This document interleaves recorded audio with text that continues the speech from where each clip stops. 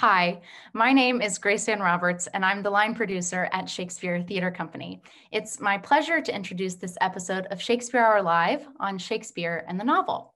Now, those of you who were watching the live broadcast with us, you know we had a few technical difficulties at the top of the hour, and we really appreciate your patience as we got that all sorted out. But luckily, despite all of that, we were able to capture the whole conversation for you to enjoy now. First, I just want to offer a few words of thanks and introduce you to our panelists. Shakespeare Hour Live is a component of Shakespeare Everywhere, which is made possible by the visionary support of the Beech Street Foundation. Additional support is generously provided by Nan Beckley, and tonight's episode is sponsored by Frona Hall. Thank you all so much. Now, it's my pleasure to introduce these guests. We had a fantastic panel with us for this episode, and I can't wait for you to meet them. Uh, first is Dr. Brandi K. Adams. She's an undergraduate program manager at MIT, and as of August 2021, she will be an assistant professor of English at Arizona State University. Her research areas include the history of the book, the history of reading, and early modern English drama. Secondly, we have Alexandra Petri, Washington Post columnist, playwright, and author, whose most recent book of essays is titled Nothing is Wrong and Here is Why. And last but certainly not least, prolific author and essayist Jane Smiley, whose novel A Thousand Acres, which is of course a retelling of King Lear, won the Pulitzer Prize for Fiction in 1992. And of course, uh, your favorite co-hosts, Simon Godwin, STC's Artistic Director, and Dr. Drew Lichtenberg, STC's Resident Dramaturg. You are in great hands with the five of them. Uh, so without further ado, enjoy the conversation.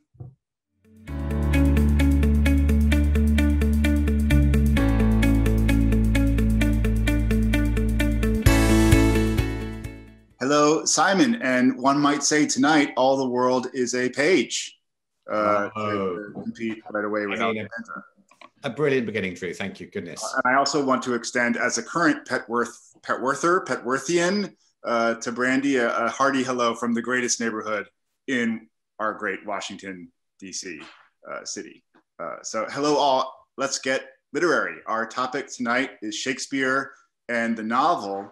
And there's a number of uh, lenses through which one can approach this vast topic.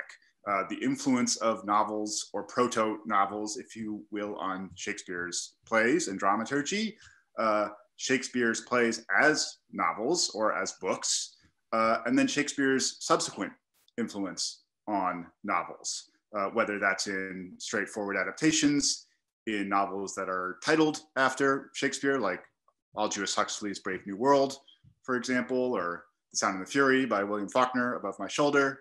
Um, but I wanted to start just with a slight, small, potted history of Shakespeare and the proto novel. Um, many, many, in fact, the majority of Shakespeare's plays are themselves drawn from Renaissance prose or poetic narratives known as novellas in Boccaccio's The Decameron, uh, the Italian for tale. Um, Othello and Measure for Measure come from Giraldi Cinthio. Romeo and Juliet comes from a translation of a novella by Matteo Bandello. Uh, I could go on and on. There's links in Shakespeare's plays to Chaucer, such as Troilus and Cressida, uh, or The Two Noble Kinsmen, a collaboration with John Fletcher. There's adaptations uh, from Boccaccio. Uh, Cymbeline, I believe, takes a subplot from the Decameron. There are others. Uh, and of course, most famously, uh, there's the lost play by Shakespeare, Cardenio, which he wrote with his younger collaborator, John Fletcher, uh, which is believed to be a, an adaptation of a subplot from Don Quixote by his great contemporary Miguel de Cervantes, uh, and Don Quixote being itself maybe one of the first modern novels in Western European literature. So at first glance, though Shakespeare himself never wrote a novel or something that we, that we consider a novel, he wrote plays and poems and sonnets and long verse poems, uh, the links between Shakespeare and the novel go quite deep. Uh, and that's sort of what we're going to start examining uh, tonight. Uh, this question of medium uh, and Shakespeare's relationship to this, to another medium, another literary medium. And uh, the, the sort of prompt that we shared with our panelists to respond to initially is this question of medium, of short form versus long form. Of course, plays are written to be performed in one space and in real time, uh, to be consumed all at once, whereas a novel is something that is long form, is something that you can pick up, put down, consume at your leisure. Uh, so that's it's one way of drawing a distinction, although maybe it's a distinction that doesn't hold or sustain. And I thought, Brandi, maybe we would start with you as the expert on the history of the book uh, to give us some schooling on how to think about these questions.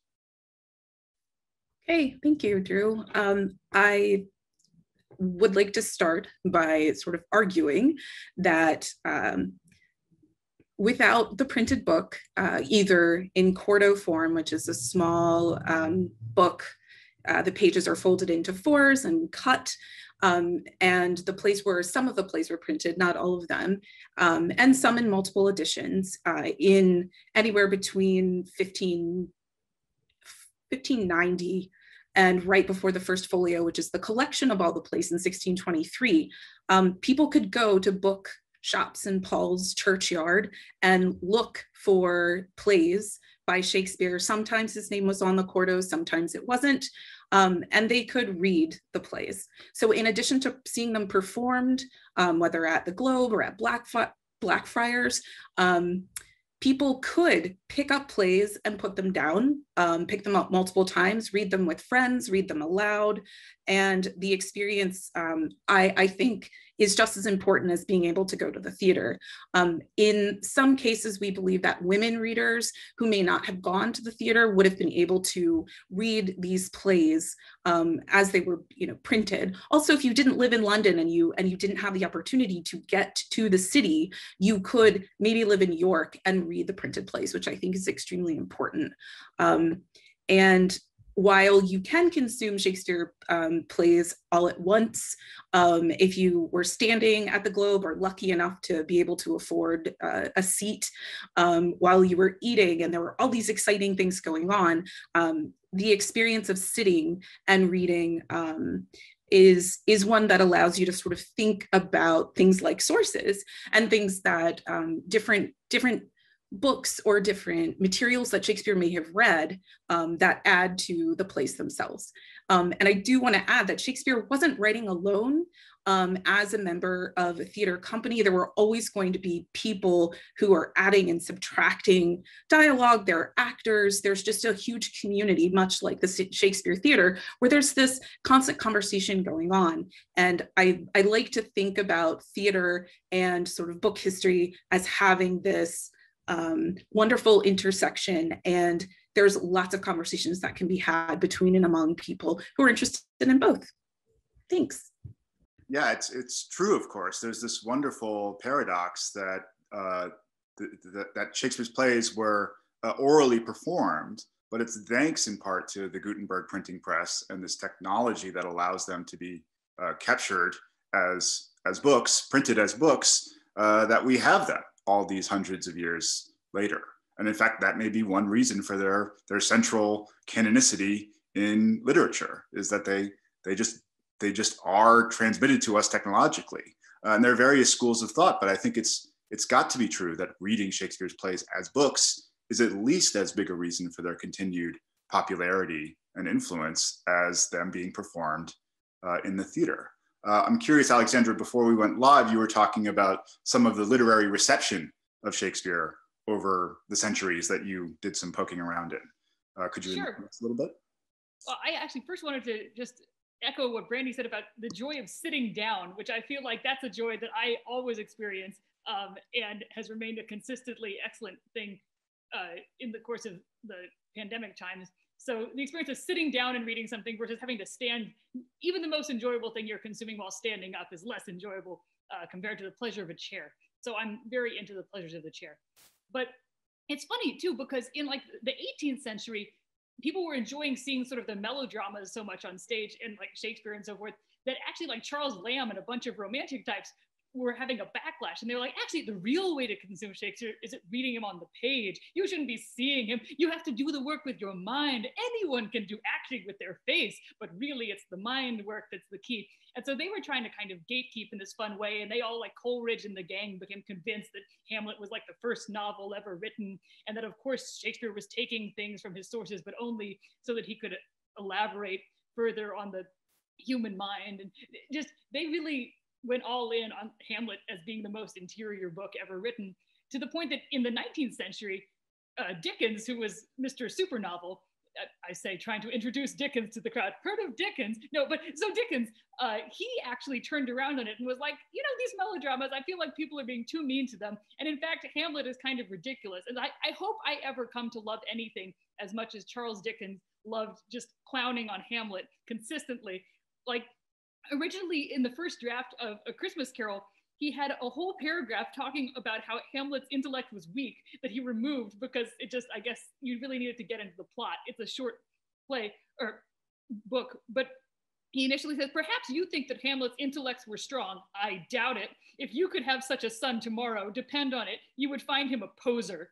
He would be a most impracticable fellow to deal with, and however creditable he might be to his family, after his decease, he would prove a special encumbrance in his lifetime. Trust me which, okay, Dickens, unload. So it was fun seeing how Shakespeare, both people were tried to convince themselves that he had been writing novels. And then when they started writing novels themselves, they would include little scenes of Shakespeare to try to show their take on him because he was such a well-known text because he had been printed and everybody was encountering him and seeing him on stage or reading him in some way.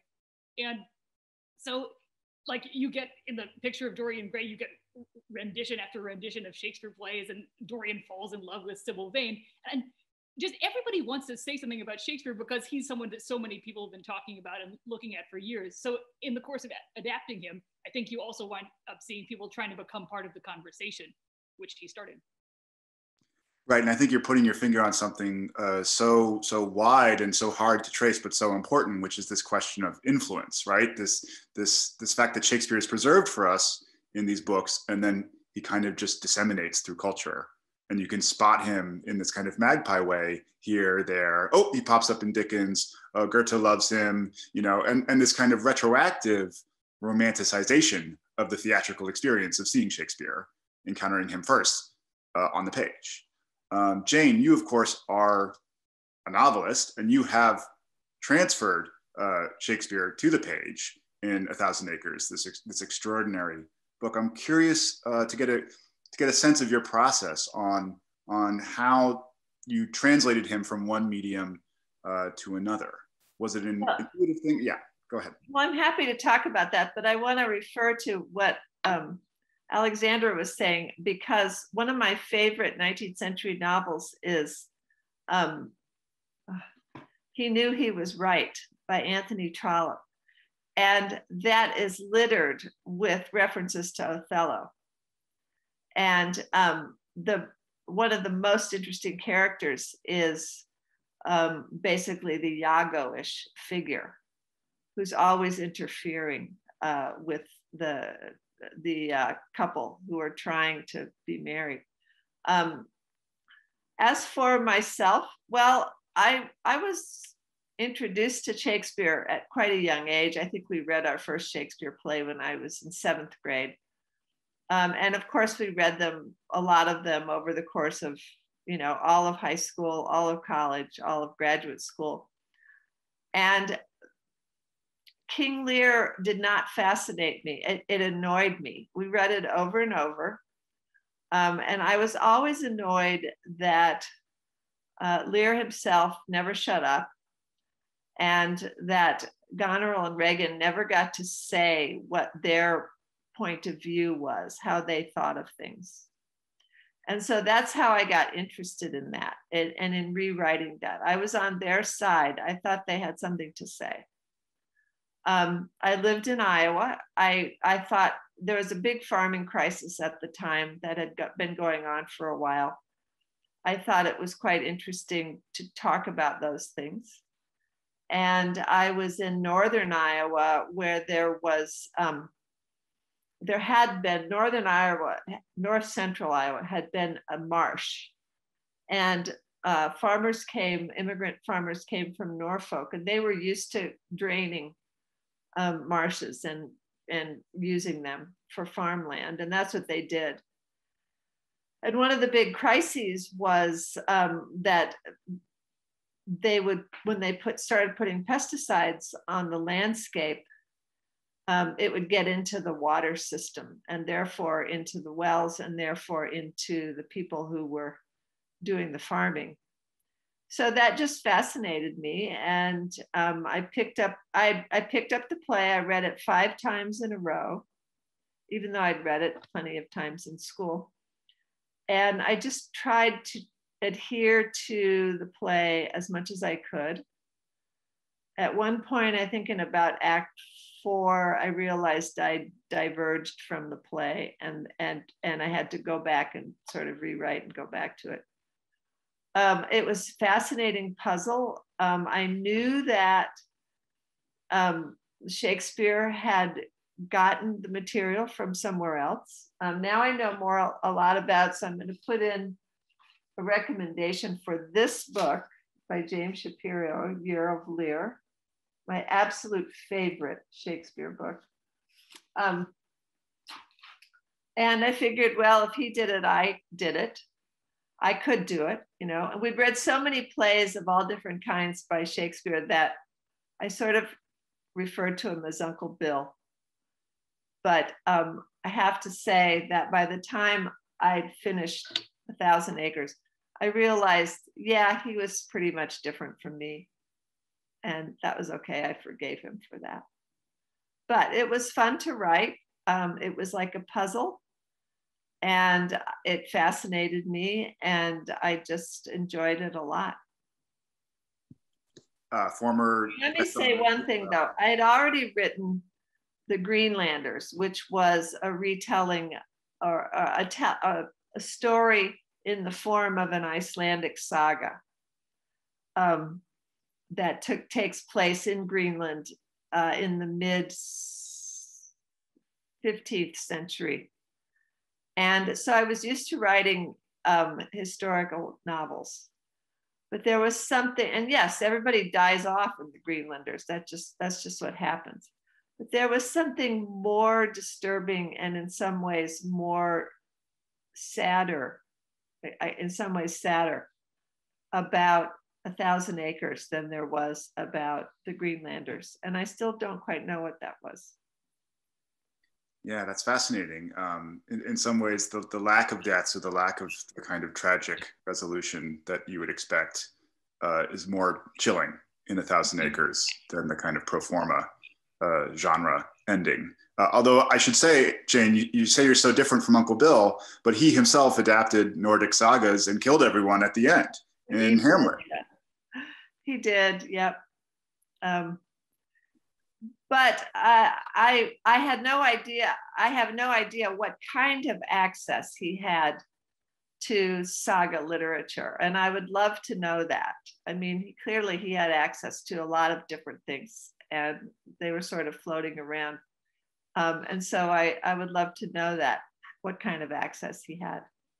Well, maybe we can maybe we can get into that later in the show. Okay. Uh, I'm curious.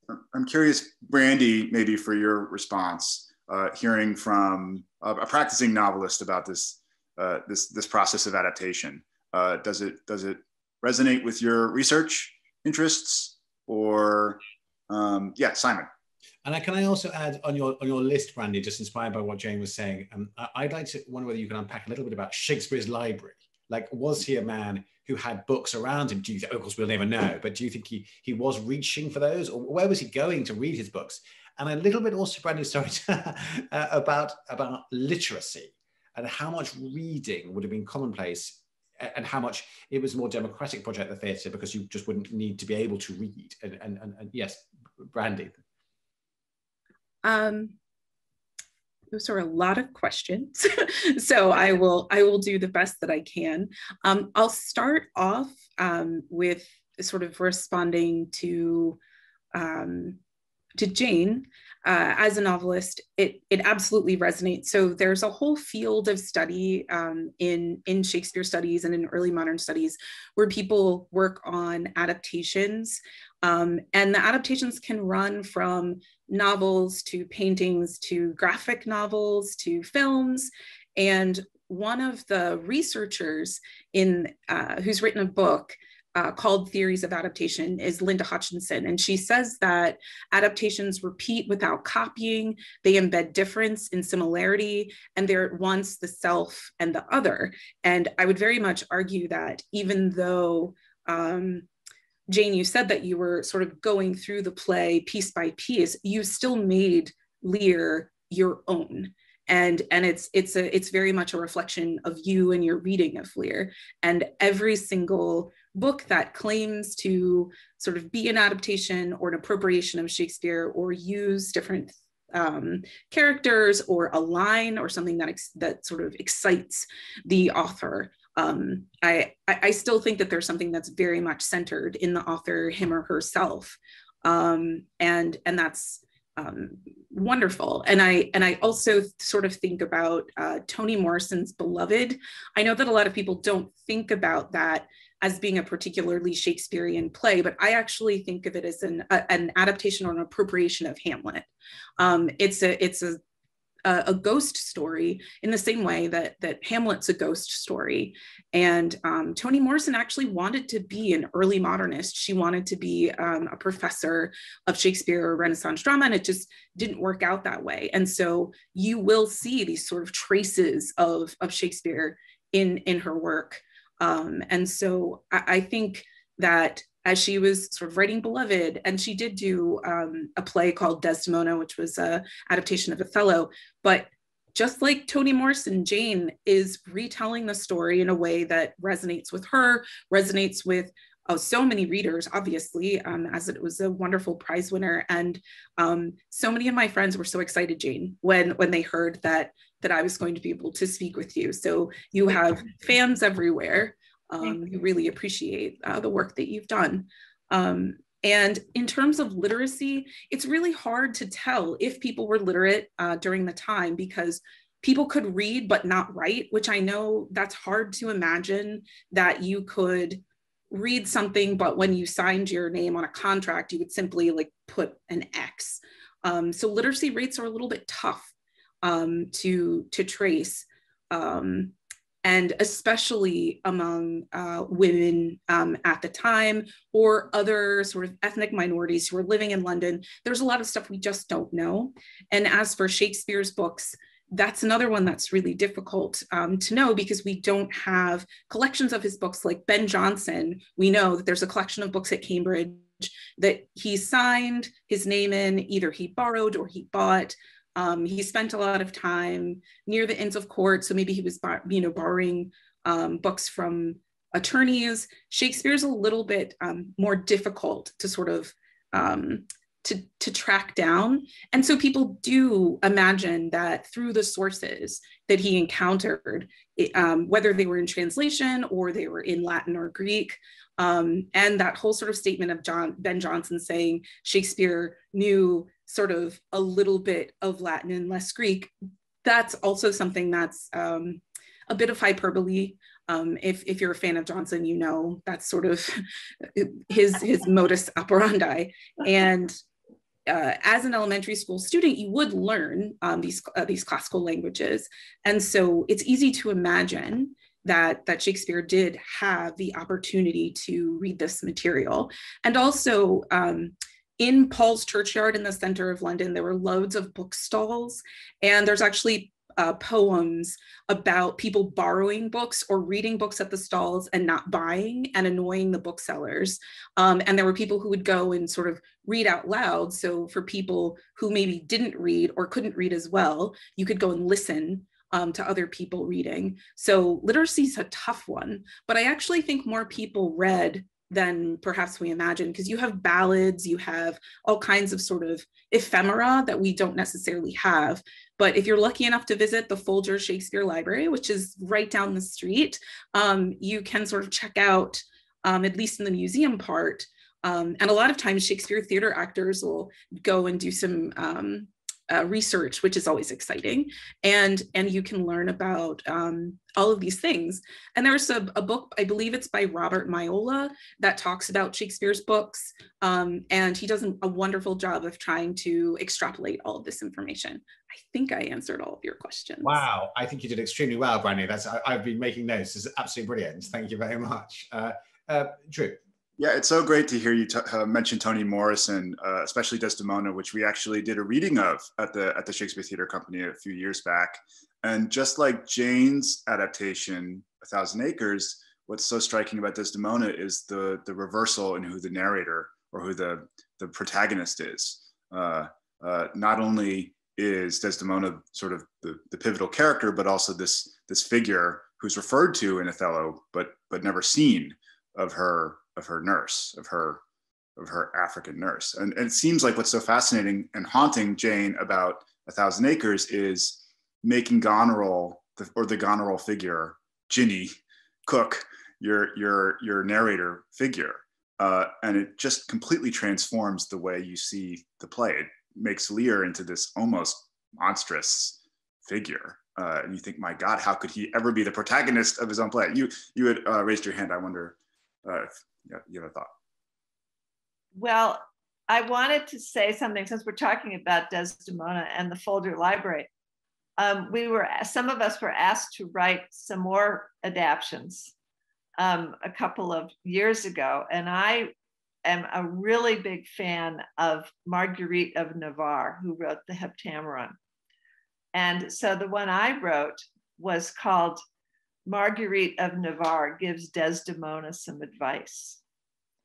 And it was a series of letters packing, passing back and forth where the, the two, these two older women are trying to help her and they're too late and it's just a short story but i i adored writing it so i think othello is a very interesting play mm. and um that that was the that was the reason i was raising my hand mm.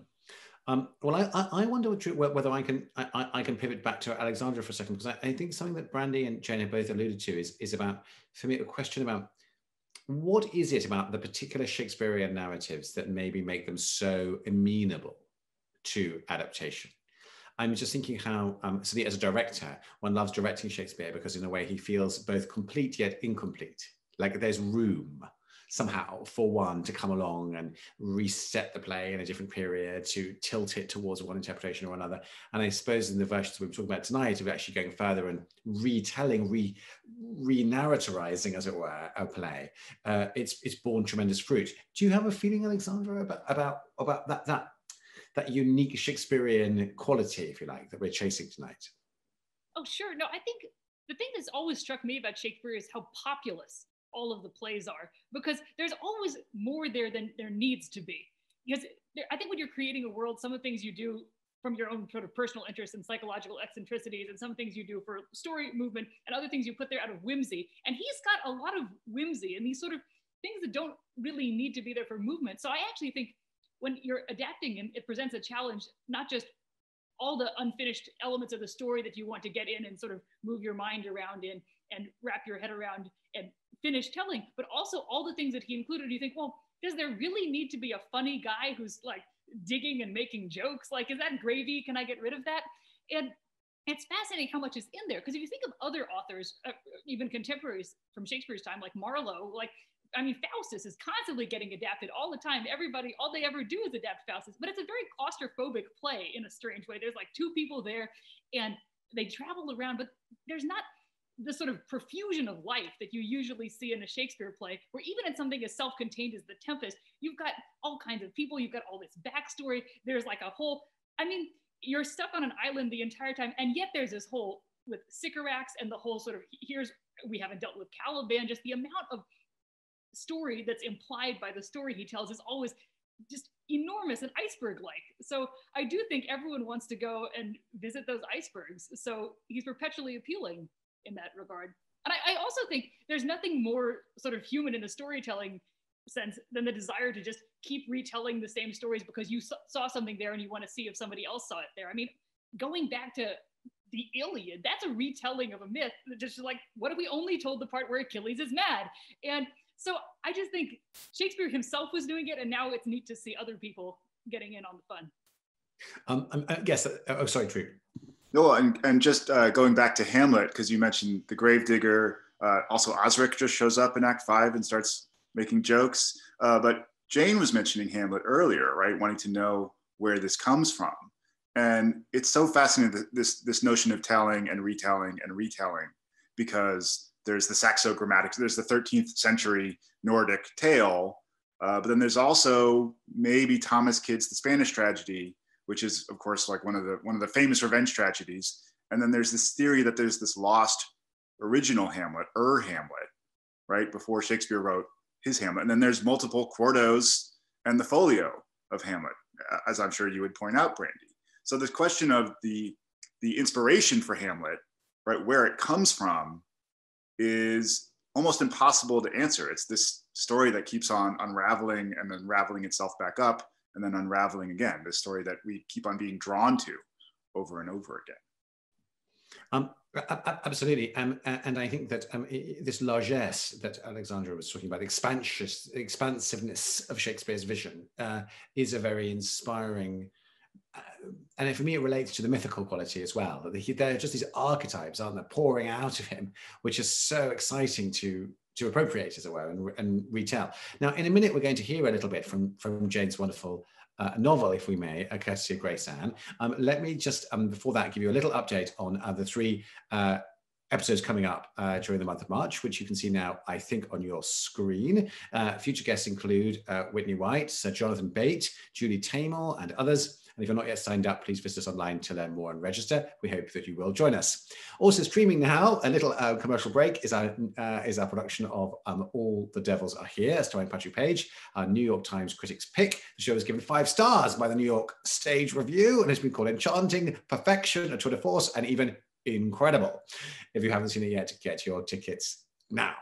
Uh, so, Grace, you, we also, of course, might have some thoughts and comments and ideas from the audience. And uh, so, over to you for some audience thoughts and questions. And also, if you're ready to, a little extract, uh, if we may, from uh, A Thousand Acres. Grace, sure, of course. Before we, we get to A Thousand Acres, there are lots of thoughts with people sort of asking about specific titles or adaptations that they know of from their own library, titles they admire. And I just, I would love to hear from the panel if you have a favorite, maybe bef- to talk about specific titles, ones that come to mind that you think are particularly um, effective or interesting, or ones that you just personally enjoy. Um, I think that I would love to hear that from our three guests. So maybe if one of you has one off the top of your head. Do you want to curate us through it? everyone just talking? I mean, obviously we're talking about Beloved, which is great, and, and indeed A Thousand Acres, which we're about to hear from Grace and shortly. But yes, Julie, oh yes, great. Brandi has one. Yes. Um, actually, I have three, if that's okay. Um, there's a, a, book called Season of Migration to the North uh, by Tayeb uh, which is um, a, it's a little bit of an older book, but it's a retelling of, of Othello. And there's a lot of exciting academic being, uh, work that has been done on it, and that's currently being, being done. Um, there's a wonderful essay, an older essay by Jyotsna, Jyotsna Singh, and then there's some really fantastic work being done right now by Ambareen Dadabhoy. Um, there's another um, adaptation of Othello, um, and I would say maybe it's more of an appropriation. It's called Crescent by Diana Abu Jaber. It is a wonderful, wonderful tale. Um, and I think one of the smartest um, appropriations I've read in the last two years. Um, and it has these really wonderful moments where you can see how Shakespeare sort of affects global discourse, um, both um, the book takes place on the West Coast, but also sort of how it spreads to uh, the Middle East. Um, and I thought that was fantastic. And then there's also a book by a local author, ML Rio, who is a PhD student at the University of Maryland. And she wrote If We, we Were Villains. And um, it's this wonderful play about a theater company, a murder, and uh, how Shakespeare is sort of uh, interwoven into, into that book. I think it's wonderful. And I can't believe she wrote this before embarking on, on her PhD. And I just, I, I'm a very big fan. Brandi, that, that, that's absolutely thrilling for me as artistic director of the Shakespeare Theatre Company, uh, uh, keen as I am always to find new versions of Shakespeare and, and interesting telling. So I, I, I, think Drew and I uh, have taken uh, copious notes. Thank you, Brandi. Those are super inspiring. Um, Alexandra, some favorites of yours? Sure. Well, I'm a big fan of, I, I like a good book that has just Shakespeare in the title. And then you see, well, is this play gonna, this book gonna be actually a Shakespeare adaptation or not? Like I read Cakes and Ale thinking there were going to be cakes or ale in it. And I have to say, I'm not sure it's an adaptation of Twelfth Night ultimately, but I'm willing to hear people out on it. But one of my favorites actually is sort of a weird one called Her Privates We by Frederic Manning, which Ernest Hemingway said was his favorite novel ever written about World War One. And it's basically like a World War One just memoir novel type thing, but it actually is very Hamlety in the sense that Hamlet is a play about somebody who's trapped inside a story and doesn't want to be, and is made sort of keenly aware of his own mortality. And you know, you're the you're the moth that's flown in, and you're not sure you're going to make it back out the door again. And that's her privates we. So and it originally had the title the middle parts of fortune because they went through that phase where they're like her privates we is much too racy but let's just move one line up and we're sure that'll be fine so i would also recommend that one sort of a a, a downer of course because world war one but a, a, a classic Great, thank you, Alexandra. Uh, great, and uh, yeah, Jane, do you have any other adaptations that perhaps inspiring for you for, for you before you came to write the book, or when did after? I didn't uh, actually know any before, other than, of course, West Side Story, which we all knew, and um, it it the music was so great, and every and the you know everything about it was so interesting and such an interesting take on Romeo and Juliet. Um, I'm quite fond of Vinegar Girl by Anne Tyler, um, just because I think uh, the Taming of the Shrew is one of Shakespeare's most problematic plays, at least from the point of view of women. And so it, I thought it was quite interesting and brave of her to, to update that one and see what she could come up with. And we have a lot of viewers or several viewers mentioning the Hogarth series in particular, which, you know, has uh, such authors as Howard Jacobson. Someone mentioned uh, Gillian Flynn is slated to adapt Hamlet, which we've discussed so much tonight. So a lot of interest in Hogarth too. So I'm glad you mentioned Vinegar, Vinegar Girl too, Jane. Um, I would be happy to read an excerpt of A Thousand Acres, Jane, if you if you don't mind. Um, I I thought I would just go in cold, and then maybe we can talk talk about it after. Maybe if anyone can pick out the the King Lear equivalent in the moment I chose. How does that sound? Great. Okay, here we go. This is from A Thousand Acres, of course, by Jane Smiley. The only thing Harold said later was that one of the outside knives looked clogged. What he would have done then was to put, pull the rope that shut the valve on the top of the tank. Maybe he was in a hurry because then he got down off the tractor and went around to the malfunctioning knife where it bit a few inches into the soil. No one knows why he jiggled the hose. Possibly he only touched it while bending down, brushed against it with his hand or his sleeve. At any rate, the hose jerked off the knife, and with the last puff of pressure remaining in the line, sprayed him in the face. He wasn't wearing goggles. Anhydrous ammonia isn't drawn to the eyes because of their moisture, the way people sometimes say it is. It only feels that way because the moisture in the eyes reacts with the fumes and creates a powerful alkali. In spite of the pain, Harold staggered to the water tank on top of the ammonia tank, knowing that his only hope was to flush his eyes and neutralize the ammonia. The water tank was empty. At this point, Harold was overcome and he simply keeled over in the field. It was Dolly on her way to work at Casey's in Cabot who saw him. He was kneeling among the rows of corn, rocking back and forth with his hands over his face. There wasn't any water anywhere out there. So, Simon, I don't know if you have any. Well, no, yes, and beautifully read, and congratulations, Jane. It's incredibly vivid, isn't it? Uh, and uh, well, uh, Jane, maybe maybe you should help us identify as well. I'm sure the viewers will have begun to find the correlation, but but thank you, Grace Ann and Jane. Well, I had to come up with some way for Harold to become blind and it had to be um, had it had to have something to do with farming and it had to be plausible. And that's basically what you want to do anytime you're writing a book. Um, you you have to find ways to get to the end that are plausible. Um, i studied about the chemicals. I asked various experts about what might happen if this this happened and that happened. And so that episode I came up with as a plausible way for Harold to become blind. I also want to uh, say that your solutions for the storm, your solution for the the mad scene, truly uh, inventive and kind of unforgettable once once you read them. They really stick in the mind or the mind's eye. Um, and but uh, I also wanted to ask you, Jane, while you're with us, about some of the significant differences, or or why you felt the need to make some differences. I don't know if we should get into spoiler territory here about a thousand acres but you mentioned the kind of environmental uh, uh, concern, right? This this theme of the poisoning of the land, the poisoning of well water over many years, which becomes this kind of archetypal family curse in the novel.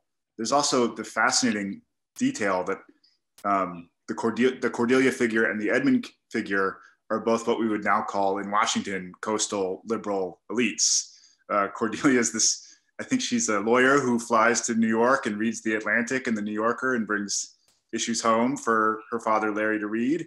And Edmund is a, a Vietnam refugee who went to Vancouver and became very enthusiastic about organic farming and using green manure and and uh, slaughtering pigs in ethical ways. Uh, if you were if you were doing a theatrical adaptation of it now, uh, I feel like reviewers would call it a red state blue state allegory uh, that you're creating in, in this novel. Uh, so you you find ways of, as as Brandi was putting it, being uh, uh, bringing yourself to the work of of reflecting Jane Smiley in the work. It's very much Jane Smiley's novel, even though there are all these ingenious solutions that you found for following almost almost uh, in the same sequential order all the events that are in Shakespeare's play that's not a question. This is an observation more. Um, but yeah, I wonder, I wonder if, uh, if you have thoughts about the need to come up with differences or put a spin on things. And I'm not even mentioning the big one, which once you get to it halfway through the book is a total shocker. Well, the the one that's that I had to think about the most was okay, King Lear ends with a war, and I didn't think that was a likely prospect in Iowa in the 1980s. And so I decided it was a, it, they would come up with a legal battle. And so I had to find out about law various laws, and I had to find out what they could do with regard to that. Um, but the other things, they just sort of came naturally. I had to make it work, and um, I did the best I could. Well, this is I, this is something we've talked about quite a lot on the Shakespeare Hour. Is um, the timelessness of Shakespeare versus the need for contemporary artists in the theater or in film or in the novel to find new ways of making his plays relevant, of wrestling with his plays. Um, so yeah, I think yeah, Simon. Well, I just wanted to kind of return to, to some of the discussion we've also talked about tonight, because um, uh, perennially on the program, the question arises: Is Shakespeare dated? in terms of should and, and in a way is our future with shakespeare or what do we do about the flaws in shakespeare so we spoke jane spoke about the taming of the shrew which we talked, talked about last week and the really difficult politics in that play and i wonder whether we i might hear from and uh, maybe just starting with brandi about how much do we think the job of the contemporary adapter is to rescue shakespeare and, and, and even in some level replace him or do we feel like what matters is always the dialogue between the source material and the new version. I don't know whether Brandi, you have a thought on the kind of the politics, if you like, on, of, of adaptation. Um, I, I, I think that one of the things that's uh, terrific about um, Shakespeare studies, particularly right now, is how diverse it's become. There are so many different people who are doing work on um, gender, on race, on disability, um, on uh, sexuality. Um, and I think that it's not so much a question of, of, of rescuing Shakespeare. I think it's a question of allowing these really important conversations to take place and have people read the plays using the lenses that they are extremely comfortable with. And um, thanks to, I think, I, I hope, um, I'm, I'm really lucky to have a lot of friends who are theater practitioners, um, and we get to have these conversations about um, how things might have happened historically, how people might want to adapt um, and adopt these plays in, in, in, a bunch of different ways. And um, I think that the field only becomes richer because we have so many people who are interested and in and engaged with with the texts. Um, I, I'm I'm certainly people who know me well. Um, Shakespeare is actually on the periphery of, of the work that I do. I tend to look at non-Shakespearean uh, playwrights. Um, I also think they're just ready to be adapted. Somebody please write adaptations of plays by Philip Massinger or by um, Fletcher or by um, Kyd or by anybody. Um, and and there has been some really exciting work um, done in Marlowe studies for sure. And and I think that the more we realize that Shakespeare was one of many uh, playwrights who are writing in the period, including there were a few women as well. Um, uh, and and you want to be able to to have people understand that there's just a, an amazing amount of work out there that we can all read and learn from.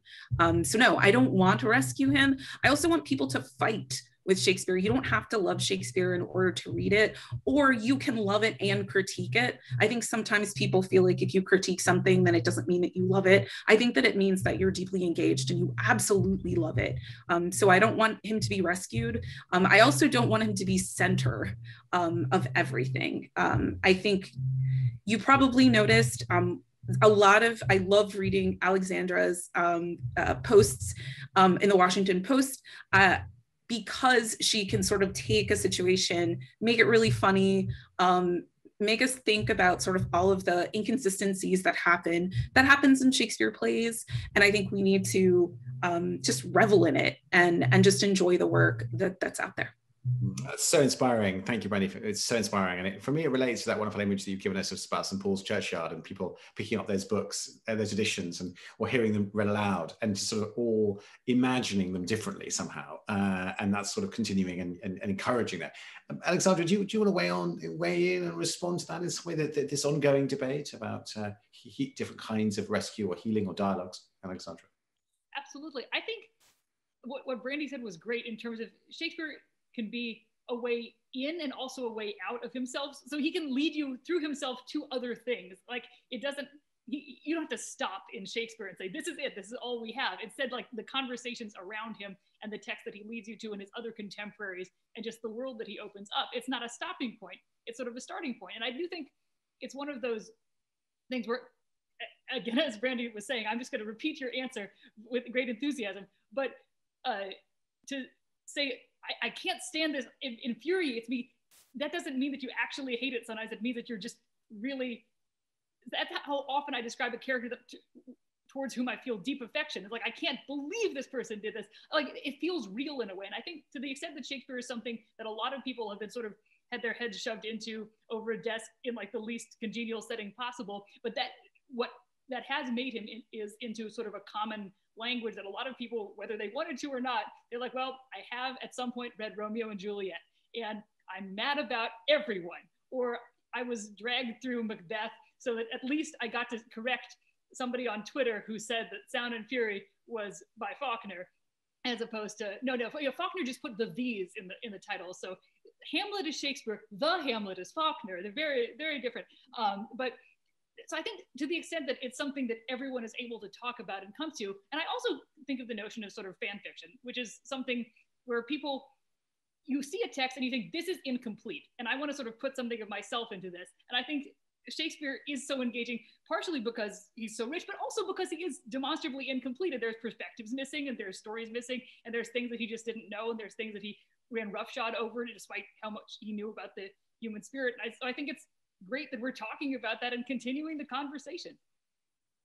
Yeah, br- brilliant. But well, but before I before I before I sort of um, invite maybe Drew and Jane to, to, to, reflect on this question too, I didn't want to deprive our audience, uh, Drew and Grace, and if there are any thoughts or, or questions from our audience that we want us to kind of address in the last few minutes.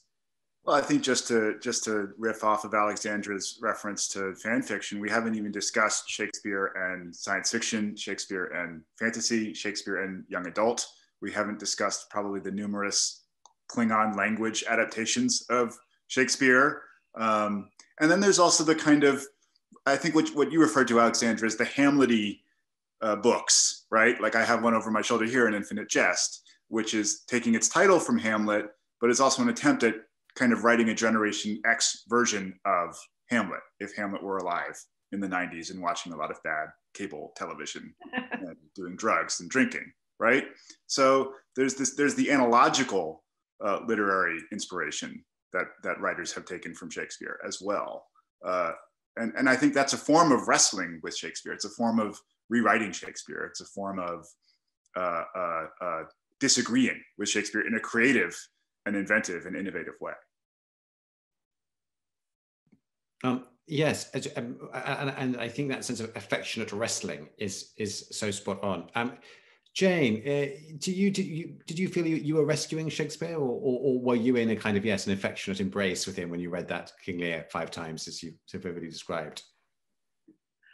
I wouldn't call it well, not with Lear. That wasn't my affectionate embrace. I liked other plays that we read better, Twelfth Night or uh, Hamlet. Um, so no, it wasn't an affectionate wrestling, but it was a fascinated wrestling. One of the things that we know about authors is that they come and go. Um, one of the things that we know about Shakespeare that Dickens commented on was that in the early 19th century, he was he had been lost a little bit until the theater sort of took off, and one of Dickens' friends brought him back. And then Dickens himself was kind of lost after he died. And um, he sort of came back in the 1930s. So that's just what happens. Authors do that. Um, but I love the fact, with regard to Shakespeare, that so many authors want to engage, that so many authors want to be inspired, that so many authors are willing to make their way through the language and pay attention to what he's writing about and they're willing to argue as well as to you know give him their affection and respect. I think that's a great thing well thank you so much and I, I can't help feeling that through our conversation tonight his ghost has been been with us and i'm sure from a distant place um, he's still uh, very much enjoying being wrestled with and challenged and questioned. Um, tonight uh, one of my four-year-old twins i've been reading the greek myths came up to me and said daddy does hades still exist? And uh, I, I, I, kind of tried to start grappling with maybe the underworld and, and, and all these questions and realizing, well, that, that, that these questions uh, don't need to be answered, do they? They just need to be lived. And these myths do continue to nourish us in, in amazing and unexpected ways. Thank you so much uh, to Brandi, to Alexandra, to Jane, and to Grace and, and to Drew. And next week, we return to the canon to talk about Titus Andronicus. Uh, tune in. Uh, joining us will be Tony Award winning director Julie Taymor, uh, Dr. Martine Kei Green Rogers. Uh, you may both remember uh, Julie and Martine from their appearances on Shakespeare Hour Live in the last fall. we're thrilled to have them back to help us dissect no pun intended, Shakespeare's bloodiest play. Um, until then, stay well, stay safe, everybody. And thank you so much for being part of the show tonight. And thank you again to my wonderful panelists. Good night.